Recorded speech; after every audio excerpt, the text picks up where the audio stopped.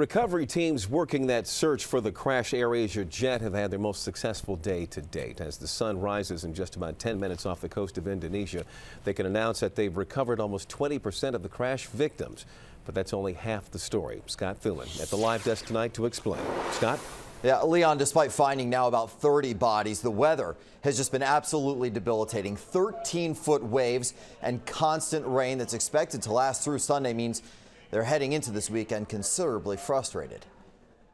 Treacherous, perhaps the best way to describe the scene on the Java Sea, where search teams hope to find more clues in the crash of the AirAsia jet. But waves so high, conditions so choppy, divers can't even enter the water. Nonetheless, there has been some progress. More victims found today, many still buckled in their seats which seats could provide significant insight. If they were all sitting in the back and most of these bodies are intact, it would tell us or suggest to us that maybe the tail section came off. Among those identified, an 11 year old boy and a young flight attendant known to many as Nisa.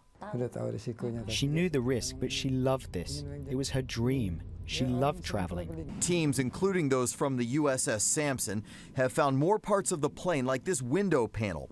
Strong currents, though, have moved and spread the debris, and the main fuselage containing the black box and recorders still unseen. There is a clock ticking. Uh, there's no question in my mind they will find the wreckage, but we just need to do it rapidly. That's because their battery life is maybe only a month. Another U.S. ship is available, and the Russians have provided this plane and crew. All are aware each passing day more painstaking for families wanting answers. Most of our family is, is in this stage that we are unwell. Some of us get sick.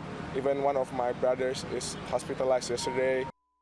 Now, experts in general say the more luggage, people, and more plane parts that they find intact would indicate that the plane hit the water in one piece. That would hint that there was a mechanical error or a stall instead of a midair breakup due to any sort of explosion.